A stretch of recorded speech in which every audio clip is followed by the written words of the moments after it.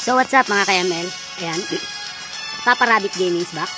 Ayan. So for today's video, mag uh, ano tayo, magre-recover tayo ng ML account ng isang viewers natin. So ipiplex ko na lang diyan yung kanyang Facebook account. Alright.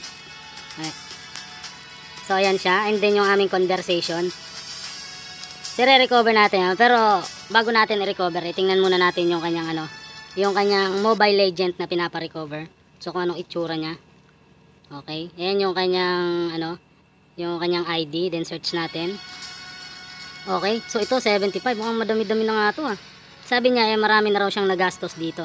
So check natin. Oo nga. 107 si Andre. 108 pala yung kanyang skin, yung bayani niya 91, mga emblem is talagang madami nga. So check natin yung history. Okay, so nakatago yung history niya. Uy, ang baba na. Tatlong maniac. Favorite. So, ano yung ginagamit niya? Gusion. User pala ito. Alright. So, gu gu Gusion user siya. Maganda ng mga skin niya. Oh. Talagang pinagkakagastosan niya. Mga idolo. Oh. oh. So, yan. So, bago natin i-recover tong ML account na to, eh, kung bago pa nga lang kayo sa YouTube channel ni Papa Rabbit Gaming, eh, don't forget to subscribe. Yan. Hit nyo na rin yung ating notification bell dyan para updated kayo sa mga next video natin. At syempre, eh, sana mga idolo, eh, manood kayo ng ating, ano, ng ating mga ads dyan. Kahit mga 1 minute lamang mga idolo, eh, may napakalaking bagay na yan para sa YouTube channel ni Papa Rabbit. Alright, so itong account na to, eh, bago lang to. No, hindi ko to gagamitin. Ginamit ko tong ano, pang recover dati. Ah, I mean, pang, ano, pang smart account. So, lilipat tayo ng ibang cellphone. Kasi itong cellphone natin na to is nagbabak kapag nagsesend tayo ng purchase. Alright, so let's go.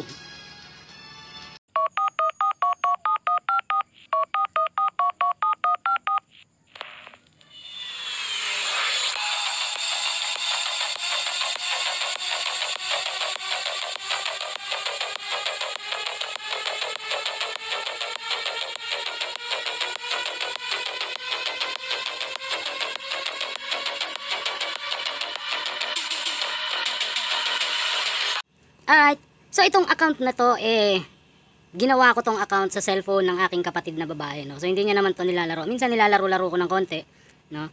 So, dito sa video na to, alright, so dito, dito natin gagawin yung ating uh, tutorial kung paano i-recover yung Mobile Legend ni Andre. Alright, alright, so nakikita nyo dito sa may taas, yung may headset na logo ng tao, yan, i-click nyo yung customer service, okay? Then, i-click nyo yung account recovery. Yan, click natin yung account recovery. And then, kapag nandiyan na kayo, rumekta na kayo sa form, no? I-click nyo yung form account retrieve, retrieval. Yan. Okay. So, kapag na-click nyo na yan, so ito yung ano, ito yung account ng aking kapatid. Alright, yung nasa taas na yan. Kapag hindi nyo nakita, yan, pindutin nyo yan sa baba. Tapos, okay. Tapos, i-click nyo yung, uh, i-type nyo dyan yung nickname. Ano bang pangalan ng account na nire-recover nyo? Yon ang ilalagay nyo rito. Alright, itong sa taas. Alright, alisin natin tong ID na to. Mali yung ano natin dyan. Mali yung nailagay ko. So, burayin natin to. Ilagay natin yung nickname niya. Yung pangalan ng account. So, ano bang pangalan ng account mo? Alright, so ilagay natin dyan si Andre. Andre with, with a question mark. Ayan, Andre. Baliktad. Alright, Andre. Yan, with the question mark. Then next. Okay. So pag nandiyan na kayo, i-click nyo lang yan, my account stolen hack. Yan, then check.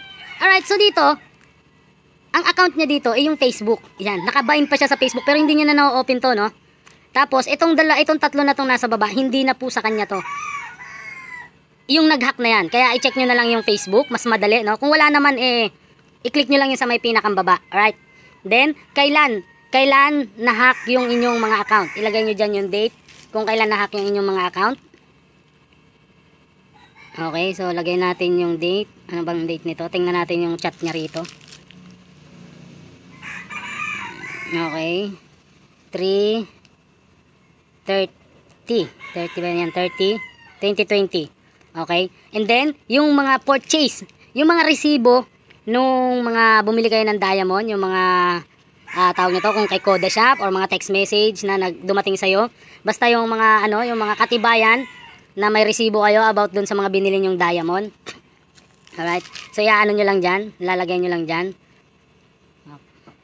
Okay, click natin, hanapin natin. Ito. Apat to, apat. Yung apat na nasa taas. Isa. Dalawa. Sabay-sabay na natin yung apat. Isend na natin yan. Tatlo.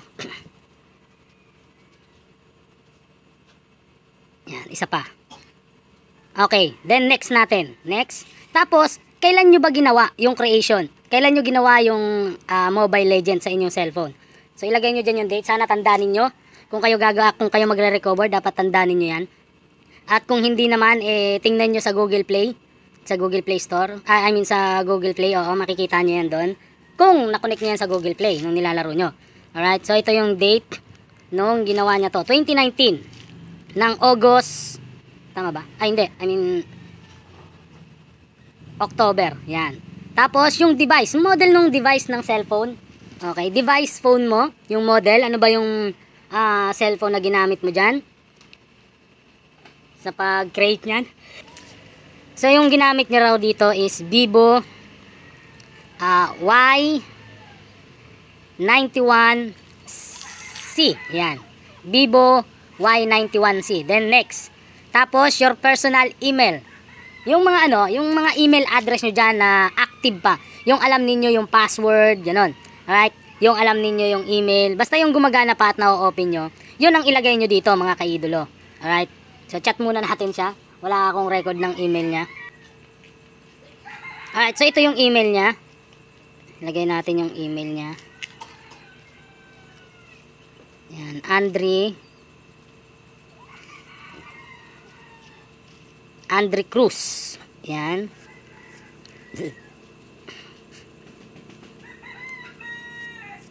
Okay, make sure, siguraduhin natin at gmail.com.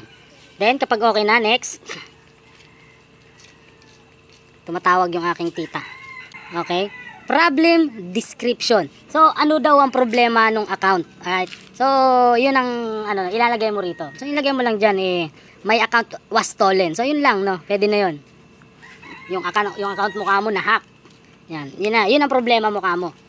Yan. My account was stolen.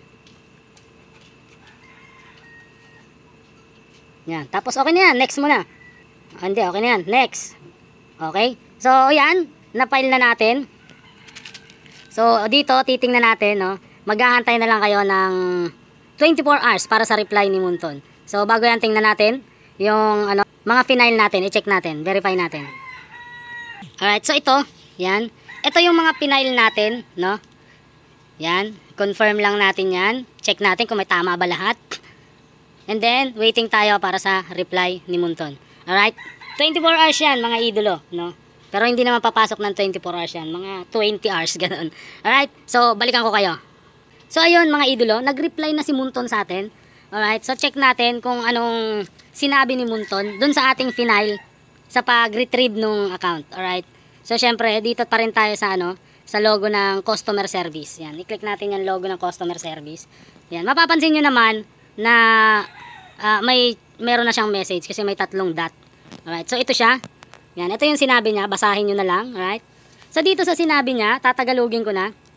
Ang sabi niya dito, yan, ah, natutuwa daw siya na ganyan, ganto ganti.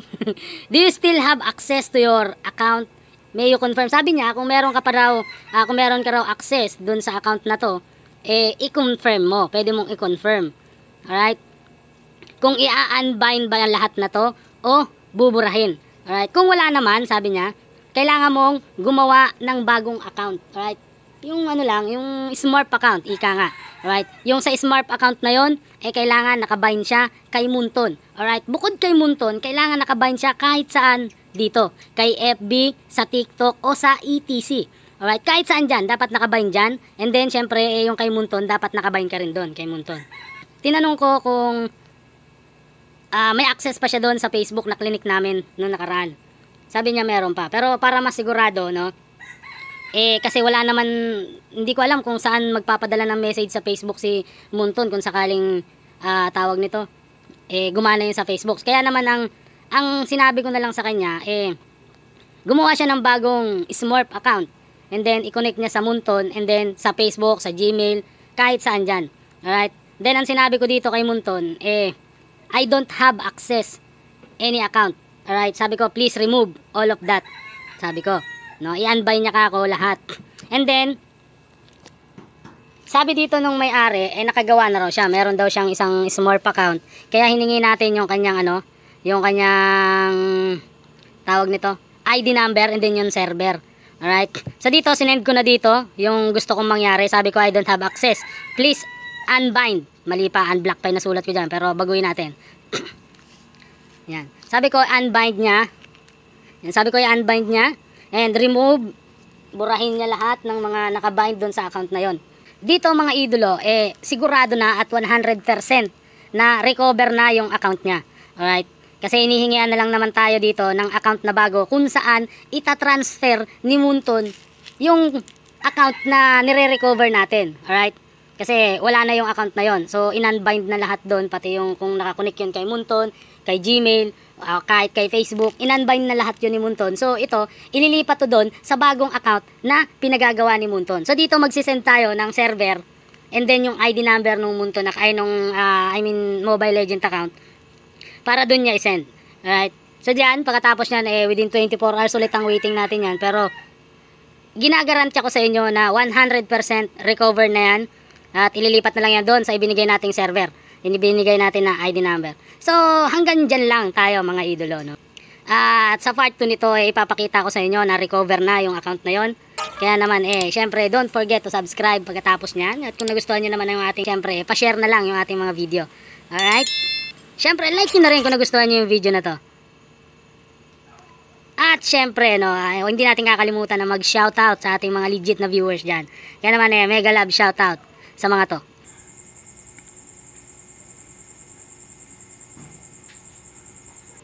So hanggang dito na lang mga idol, peace. So hanggang dito na lang mga idol, peace.